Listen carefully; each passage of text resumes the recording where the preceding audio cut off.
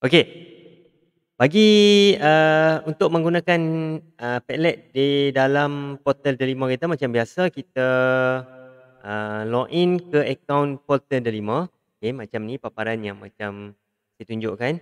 Kemudian kita buat pemilihan ke bahagian guru. Okey, uh, saya buat guru. Kemudian dia akan keluar satu tab yang baru. Alright, di bahagian sini Ha, apa yang perlu cikgu pilih adalah di bahagian aplikasi. Kita pilih aplikasi. Okey, sekarang aplikasi dia dah keluar macam-macam kat sini. Ha, ni ada beberapa aplikasi yang kita boleh guna pakai lah. Ha, tapi hari ni saya nak tunjukkan satu je, Padlet je. Ha, Okey, jadi kita klik lah Padlet. Alright. Ha, dia akan bawa ke paparan yang macam ni kalau kita dah login. Ha, macam ni saya dah login. Okey, sekarang saya nak cuba log log out dulu. Eh, saya cari. Okey, okey, alright. Saya log out dulu. Okey. Saya try log out dulu. Ah, okey. Jadi sebelum kita, uh, kalau cikgu pertama kali menggunakan Padlet, dia akan keluar macam ni lah. Untuk kita log login. Ah, login. Uh, saya secara umumnya Padlet ni dia bagi hanya untuk untuk yang free lah. Free punya dia bagi untuk 5. 5 bermaksud 5 uh, Padlet yang boleh kita buat. Padlet ni kalau kita tengok di kelas uh, PK21 ni dia umpama macam uh, gallery walk lah. Ha, dia kalau pelajar dia boleh pergi dia macam dia kan ada papan gallery walk tu kan. Uh, uh, pelajar boleh pergi komen, bagi bagi kata semangat, bagi jawapan dan sebagainya lah. Uh, dia lebih kurang macam tu lah Padlet ni. Cuma dia dalam bentuk interaktif yang uh, uh, berada di dalam apa kita panggil? Uh, cloud lah. Uh, okay. Jadi pertama kali nak log, log in kita gunalah akaun daripada uh, ID Delima. Okay. Log in. Baik. Uh, pertama kali bila log in dia akan keluar yang macam ni. Uh, yang ini cikgu cikgu takkan tak takkan ada lagi lah kalau yang belum belum buat kan. Ha, jadi untuk kita nak memulakan satu Padlet, okay, kita hanya tekan button make a Padlet. Ha, cikgu klik tambah kat sini, cikgu klik make a Padlet. Okay. Ha, cuba tengok kat sini. Dia kata Padlet limit reach, upgrade to Padlet Pro and make unlimited Padlet. Ha, dia kata uh, perlu beli ataupun perlu langgan lah. Ha, jadi sekarang ni saya tak nak langgan. Ha, kita patah balik. Cuba kita tengok. Saya dah ada satu, dua, tiga, empat, lima, enam. Enam ni sebenarnya ada satu yang saya belum buat. Ha, katakan saya klik pada bookmark ni. Ha, saya tak nak guna Padlet ni. Ha, sebab kosong kan. Ha, jadi saya nak cuba delete. Okey, saya delete Padlet ni. Okey. Saya delete dia. Ha, dia suruh masukkan kod. Okey. Jadi kita delete je. Okey. Jadi Padlet tu dah di delete, dah dibuang. Sekarang ni ha, kita dah ada empat. Ha, ni satu lagi Padlet yang saya belum guna ni. Okey. Ha, yang atas ni saya dah guna. Cuba kita buat lagi sekali. Make a Padlet. Ha, dia akan keluar macam ni. Jadi cikgu jangan risau. Kalau cikgu punya Padlet dah dah lima Padlet dah digunakan, cikgu just hanya delete je salah satu Padlet. Tak ada masalah. Ha, okay. Alright. Katakan uh, ini dia banyak bagi pilihan lah. Ha, jadi saya nak yang saya nak tunjukkan pada cikgu, kita patah balik. Okay. Ha, ini beberapa contoh yang saya dah buat lah. Ini contoh yang pertama yang ha, yang ini rasanya saya gunakan wall. Okey. Kemudian kita tengok lagi. Ada lagi tak? Okey. Uh, yang ini kita tengok ini. Ha, ini pun wall juga. Kan? Ha, ini kita boleh buat. Ini semua kita boleh setting. Yang risau sekejap lagi saya tunjukkan pada cikgu. Uh, Okey, yang ini, ha, yang ini saya tak gunakan wall. Yang ini, tadi kan wall dia satu-satu-satu dia boleh buat kolom banyak. Jadi yang ini dia hanya satu kolom sampai ke bawah. Pelajar pelajar uh, bagi jawapan dia akan dia akan masuk ke pos ni dia akan uh, bersambung-sambung ke bawah ni. Okey? Uh, dia akan sambung-sambung-sambung sampai ke bawah. Alright. Uh, saya pangkah dulu. Kita tengok satu persatu. Okey. Uh, dia ada satu, dua, tiga, empat, lima, enam, tujuh. Yang saya tunjuk yang last tadi tu adalah stream. Uh, ini adalah stream. Stream ni dia uh, streamline sampai ke bawah. Ini adalah wall. Okey. Kemudian uh, kemudian uh, kita tengok ada beberapa uh, selection lain. Uh, ini map, ini canvas, ini timeline. Okey. Saya tak nak tunjukkan yang lain-lain. Saya hanya nak tunjukkan hari ni ber, kita kita tengok yang wall lah. Ha, yang memudahkan cikgu kita pilih yang wall ataupun kita kita boleh pilih yang shelf. Ha, shelf ni pun boleh jugalah. Kan? Ha, kita try buat shelf lah hari ni. Okey, kita test shelf. Okey, sekarang dia akan keluar yang paparan macam ni. Okey, paparan macam ni kita boleh ubah di setting di bahagian tepi sini. Ha, sekarang tajuk dia kita tukar tajuk. Okey. Kita tulis tajuk RBT tingkatan 3. Okey. Kemudian ini saya buat uh, description dia.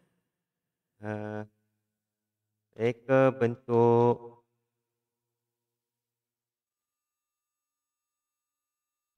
pemasaran. Okey. Kemudian uh, ikon berpulang kepada cikgu kalau nak letak. Uh, kata saya nak letak ikon ini. Boleh? Tak je. Nampak dia ada perubahan kan kat bahagian tepi sini. Dia dah keluar kan. Okey. Ini adalah address yang akan kita bagi kepada pelajar. Tapi jangan copy dulu. Biar dulu. Jangan risau. Kejap lagi kita boleh cari. Ada. Tak, tak hilang. Eh. Kemudian kita tengok. Latar belakang atau wallpaper di bahagian belakang ni kita boleh ubah. Ubah klik kat sini. Cikgu pilih lah. Mana yang nak. Ada yang solid color. Ada yang gradient. Ada yang uh, texture and pattern. Uh, ni banyak kan. Uh, terpulang. Pilihlah yang mana cikgu rasa sesuai yang mana yang cantik di mata cikgu. Okey. Ha, katakan saya pilih macam tu. Okey. Kemudian saya uh, okey, color scheme. Ha, di bahagian atas, di bahagian bawah semua boleh boleh ubah dia punya color. Font pun boleh ubah. Kita guna font yang cantik sikit. Okey. Kemudian yang ini untuk posting. Ha, kalau kita nak pelajar dia uh, wajib display nama dia, kita letaklah, kliklah attribution ni. Kalau rasa uh, sebab kalau uh, kalau kita tak nak dia letak nama, maksudnya setiap kali post tu dia boleh post lah apa saja. Ha, tapi kalau dia kita nak dia letak nama, kita letaklah attribution ni kan. Okey. Maksudnya dia akan uh, dia akan apa? Akan ada nama di bahagian posting pelajar nanti. Okey, kemudian new post position kita nak yang mana? First ataupun last? Uh, saya lebih suka last sebab soalan tu dia akan sentiasa duduk di atas. Okey. Kemudian kita nak uh, kita nak membenarkan pelajar komen tak kepada post-post kawan dia. Kalau benar kita klik uh, kita benarkan. Reaction. Kalau kita rasa pelajar boleh bagi like ataupun boleh vote ataupun bagi star. Jika saya nak bagi star dekat post kawan dia. Uh, kita pilih star. Kemudian uh, apa lagi? Content filtering. Tak perlu. Ini pun tak perlu. Okay, kita next. Ha, sekarang kita dah boleh start posting. Alright. Ha, ini contoh kolom-kolom yang ada. Contoh eh. Ini katakan untuk uh, kumpulan satu. Okay, save. Ini kumpulan dua. Save. Tambah lagi kolom. Kumpulan tiga tambah ini kumpulan empat. Okey. Ha, katakan kita dah sediakan macam macam ni. Okey, untuk empat kumpulan kita nak bagi soalan-soalan berlainan pada kumpulan-kumpulan ni, kan? Ha, jadi cikgu hanya tambahlah. Okey, yang ini. Ha, katakan uh, ha, nyatakan maksud pemasaran contoh. Okey. Kemudian yang ini kita nak letak senaraikan peranan pemasaran. Contoh. Ni pun boleh. Letak lagi. Uh, nyatakan kaedah mereka bentuk pemasaran.